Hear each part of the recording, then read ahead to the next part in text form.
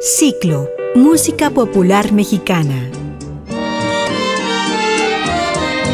¿Y si vivo 100 años? Homenaje a Alberto Cervantes, creador del bolero ranchero.